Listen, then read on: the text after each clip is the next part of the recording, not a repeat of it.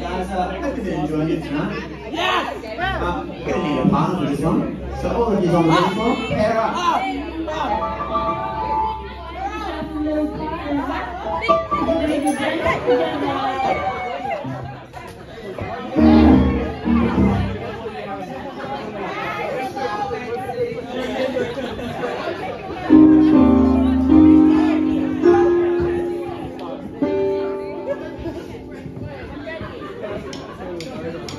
I'm addicted to you, don't you know that toxic?